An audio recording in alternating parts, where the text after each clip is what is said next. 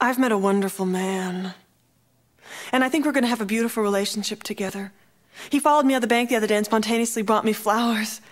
Actually, he held up the flowers and said that he wished that he could buy them for me, but that he'd left his wallet at home. So I bought the flowers, and we laughed and walked and talked, and he told me all about himself. I mean, how can I resist? I'm bringing home a baby bumblebee. Won't my mama be so proud of me? I'm bringing home a baby bumblebee. Ooh wee, it stung me. I probably should have resisted. Never trust a man. Why didn't I read those articles in Self magazine more carefully? I probably could have avoided this.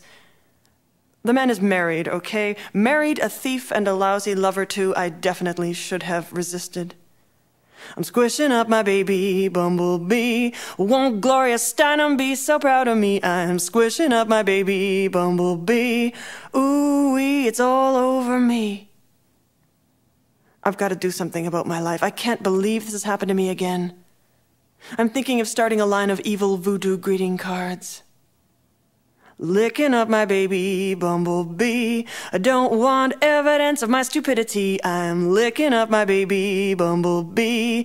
Ew, oh, ew, oh, ew. Oh, you know, I was still nurturing a tender, broken heart when my visa bill rolled in. Up to its limit in purchases that I don't recall making. And oddly enough, old Mr. Marriedhead's phone has been disconnected. But you know, it really doesn't matter. Tonight I went for the first time to a new age support group that I read about in the newspaper, and I'm already beginning to feel my anger dissolve away. I'm throwing up my baby bumblebee. Won't my bulimic past lives be so proud of me? I'm throwing up my baby bumblebee. Ooh. Meditation and therapy take up a lot of my time now. But that's all right. I have very little money to go out since I started donating 80% of my wages to the Crystal Light and Breakfast Cereal Healing Center. I've learned to laugh and play like a child all over again. The married man and the creditors notices me nothing compared to the personal development I feel in my deep and centered heart.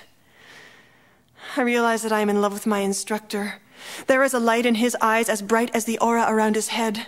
With our mantras, we channel the world's energy into him, and the orgasms are like lightning through the mirror of my soul. Ooh-wee. Never trust a man. I can't believe I said that once. I'm bringing home another bumblebee. Won't my mama be so proud of me? I'm bringing home another bumblebee. Ooh-wee.